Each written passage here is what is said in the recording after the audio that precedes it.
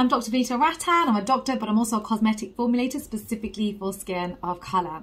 So today's video is all about which acids are great for skin of color. With skin of color, our skin is different to Caucasian skin. We have larger melanocytes that are easier to trigger. As I always say, one scratch, one bite, or one burn, and we hyperpigment. We cannot afford to irritate our skin, and this doesn't happen to Caucasian skin. So this is why we do need to be a bit more careful, and we have to be far more educated with our own skincare. So today's video, I'm going to be discussing all the acids that come up a lot, and honestly, it can be very confusing. You know, they've all got different pHs, they've got different functions, they work together differently.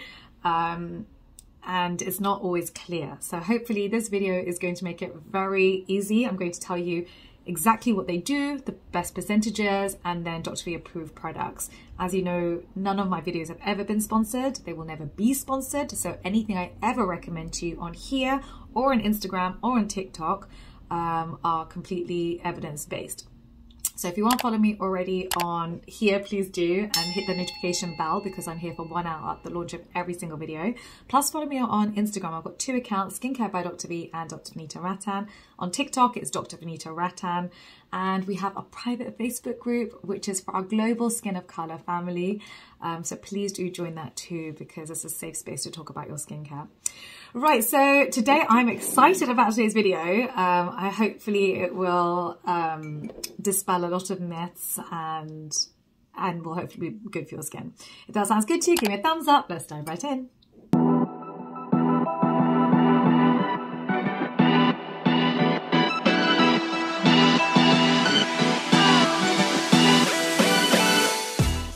Okay, so today we're talking about salicylic acid, glycolic acid, hyaluronic acid, lactic acid, ascorbic acid. Then we're going to be talking about mandelic acid, azelaic acid, kojic acid, and ferulic acid. So basically all the acids that you're likely uh, to find. And um, okay, so let's start off with salicylic acid. Salicylic acid is probably one of the most common ones you're going to find. It is a fat soluble acid, so it penetrates into the fatty pore and exfoliates the skin. It unclogs the pore um, and so it's important for if you have oily, acne prone skin, you're likely to be using salicylic acid. It's a BHA, so it's not, the most common acids you're going to find are AHAs, alpha hydroxy acid. This is a BHA, beta hydroxy acid. It's the most common, most popular form of BHA. Now, when it comes to percentages, 2% is less is basically anti-inflammatory. And if you're looking at very high percentages, such as 24, 26%, then it's a keratolytic. And those that's the sort of percentages you use for a verruca, for example. So I currently have three favorite salicylic acids. My favorite, so these are the ones. Number one is Paula's Choice 2% leave-on exfoliant.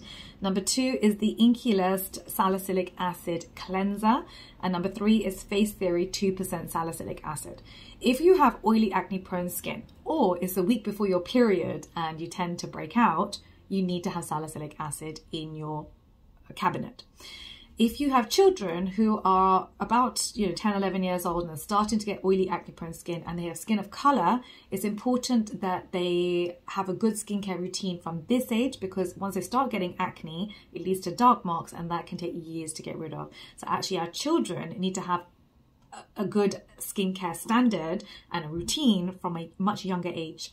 I actually think our children should understand skin more than we did. I think that we weren't really wearing sunscreen growing up, to be honest. I think that we started wearing sunscreen maybe from 25 years old onwards or when you're just on holiday. Whereas I look at my children and they have a skincare routine. You know, they've been wearing moisturizer, sunscreen since they were about a year old and they do it themselves and they understand how their skin works. So it's it's very empowering to children. It's one of the reasons I wrote uh, the book Skin Revolution with HarperCollins, which is available on Amazon, is so that they can actually read and un understand, okay, if their skin is getting, getting oily and is getting bumpy, what does that mean and what do they need to do about it? Okay, so moving on to the next acid, glycolic acid. Um, it's probably my least favorite AHA for skin of color. Um, it's an exfoliator. So the way it works is it dissolves the bonds between the skin cells. And so when you wash your skin um, these dead cells come off. Exfoliation is very important, and I do recommend exfoliating once a week chemically. But with glycolic acid, the reason I'm not a fan is because it's the smallest molecule of the entire AHA family, and so it tends to fly through the skin and can burn the skin. You get some, you can get something called hot spots where if you haven't neutralized the um, glycolic acid fast enough, then you can get hyperpigmentation in localized areas. And that's the reason I'm a little bit more nervous about glycolic acid. Um, but there are lots of benefits with it. It does brighten the skin, it can stimulate collagen. Um, over the counter, you can purchase it up to 10%. Um, in a beauty clinic, you can purchase use it up to 30%, and a dermatologist can use up to 70%. Um, However, I would say if you really want to use glycolic acid, I would stick with the 5% or less. I would do a patch test first and I would just really pay attention to the skin. Once your skin feels like it's tingling or it's burning, please stop, wash it off, and I would just wouldn't use it again. Um, so, you know, I know it's one of the most popular acids out there, but it's my least favorite for skin of color and you know, there are certain times where I would formulate with it if I'm trying to use it as a surgical knife, for example, in a clinical setting in order to get actives deeper into the skin. But for home use, it's not something I'd recommend to my family. And you guys are my skin of color family. And so I would say, you know, minimize or don't use glycolic. Moving on to the next one, which is hyaluronic acid. Now, hyaluronic acid is a confusing one because it sounds like an it's an exfoliator, but it's not. It's a humectant. A humectant is a water magnet. It holds water in the top layer of skin. Now, hyaluronic acid you can put onto the skin or you can consume. So, for example, I make my own marine collagen for anti-aging every um, I drink it every day, and I put in hyaluronic acid into my drink. Um, just because you're improving the ability of your skin to hold water in the dermis. And when you topically apply hyaluronic acid in a cream or a serum, you're improving your ability for your skin to hold water in the epidermis, so the outside. So actually hyaluronic acid, I recommend we use on the skin and also orally. So the hyaluronic acids that I like are Vichy Mineral 89, I like the INKEY List and also the ordinary does a very good hyaluronic acid. The thing I would say is it's important to apply a fatty moisturizer on top because water has to be attracted to the hyaluronic acid. If you have not got a fatty moisturizer on top where water can be attracted, then what will happen is water from deeper in the skin layers will be attracted to the hyaluronic acid and can actually make the skin feel tight and dry. So moisturizers I love would be Cetraben or CeraVe or of course our CeraPep for skin of color. This got licorice root extract in it and niacinamide for skin brightening as well. So whichever fatty moisturizer, native safe moisturizer you go for is fine, but you should use it on top of your hyaluronic acid, otherwise your skin is actually going to feel tighter. In addition, you can use a humidifier so water is being pulled in from the environment onto your skin, especially if you live in an area which is quite dry. Moving on to lactic acid. So lactic acid is another AHA, alpha hydroxy acid, but it's a more gentle form. It's more gentle than, for example, um, glycolic acid. And it's also more hydrating. It's derived from milk. So it's a chemical exfoliator. It dissolves the bonds between the skin cells and then you, then you rinse your skin and dead skin cells um, are washed off. Your skin will immediately look brighter. It does also improve wrinkles and hyperpigmentation. So any dead dull skin will be lifted. In addition, the reason I love it is because it improves penetration of actives. Because when you've removed that layer, that barrier of dead skin, you have much higher uh, concentration of actives from your serums and your creams penetrating the skin. So it's something that I do once a week. Um, this is Exfoliate to Glow. So this is 5% uh, lactic acid plus 5% mandelic acid um, plus glycerin. So glycerin is important because it hydrates the skin while you're taking the top layer of skin off. Plus it's got anti-inflammatories in it because whenever you are dissolving bonds, it leads to inflammation and inflammation can irritate the skin. So really any form of exfoliator you purchase, make sure you've got anti-inflammatories and humectants in it too. With lactic acid, the maximum percentage I recommend is 7%. Um, so just bear that in mind when you're looking at ingredients. Moving on to ascorbic acid. So ascorbic acid, basically vitamin C. Um, but it is also an exfoliator. So it does have multiple benefits. It can, however, irritate the skin if used at high concentrations and if used often.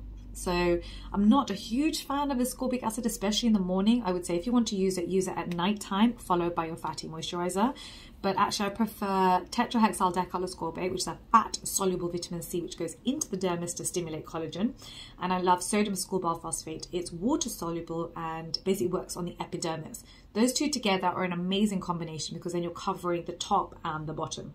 So for my own skin, I wanted, when I formulated our antioxidant power serum for my own face, um, I wanted to use anti-aging ingredients. So I use tetrahexyl ascorbate, I use your retinyl palmitate, vitamin E and coenzyme Q10 because tetrahexyl ascorbate is a very difficult ingredient to get hold of. It's an expensive ingredient, which is why you don't find it in many products. Moving on to mandelic acid, which is also one of my favorite AHAs. I love it for skin of color. Um, in recent years, we've seen the rise of mandelic acid. Um, it's the largest AHA molecule. It's also a chemical exfoliator for the skin, but it doesn't burn the skin. It's great for skin of color because it's such a giant molecule. So in my clinic, uh, which we, we we had last year, we basically um, used mandelic acid up to 20%. And um, you could leave it on for hours and it just won't burn the skin, which is perfect for skin of color. For me, my aim is to look at 0% irritation. Um, and so mandelic acid does this. If you're not using it already, I highly recommend it. Um, you can purchase it on its own or you can purchase it in combination with lactic acid, which we put into Exfoliate to Glow. So you can buy 10% mandelic acid from The Ordinary. You can purchase, uh, Wishtrend has got a product called Mandeli Bright, I believe, um, which I like too. Wish Trend has got a mandelic acid product, which is 5%, and also Face Theory's got a very good product called Mandeli Bright. Um, so any of these I love. Moving on to azelaic acid. Now, azelaic acid is starting to uh, make its way actually onto the global stage. It's a, it's a great acid. Um, it's also uh, it's great for acne and rosacea because it's antibacterial and anti-inflammatory. However, I would say make sure you're not using it with any other acid and you're not over cleansing before you use um, azelaic acid. You don't want to strip the skin of too many lipids before you apply it, especially if you have rosacea. In my lab, I tend to actually um, work with azelaic acid plus glycine in combination. Um, this is because it's a lot less irritating, but you get similar efficacy. And that's always the fine line when it comes to skin colors. How do we get maximum benefit without irritating the skin? Next is kojic acid. Kojic acid is actually great for hyperpigmentation, which is one of our main skin issues. The problem is it can be irritating and I would only rec recommend maximum 1%. I tend to uh, formulate with kojic dipalmitate, which is an ester of kojic acid. So it's a lot less irritating um, but very effective. And I use that actually in all our hyperpigmentation kits. So you'll find it, for example, in our dark circles kit, in our facial hyperpigmentation kit, in our body hyperpigmentation kit, in our bikini pigmentation kit. So I created a whole series of pigmentation kits specifically for skin of color. And I made sure all the acids that we use and tyrosinase inhibitors that we use have been formulated for us. Moving on to ferulic acid. Now, ferulic acid is an unstable antioxidant. This means that you must use it in combination with other antioxidants and you want it in an airless pump. There's no point putting ferulic acid, even with other antioxidants, in a pipette, which is what you know is very common, um, because oxygen is just going to oxidize the antioxidant it's unstable. And so always, always, always, when it comes to an antioxidant, look for it in an airless pump. So for example, the antioxidant power serum, airless pump is key. Don't forget to download your free guide for Skin of Color. I've made a new version for you for 2022. The link is down below. Please do follow me on Instagram, TikTok, Facebook, um, and don't forget to subscribe and hit the notification bell for here and let me know which other videos you want me to make for you. Thank you so much for watching and I'll see you next time. Bye.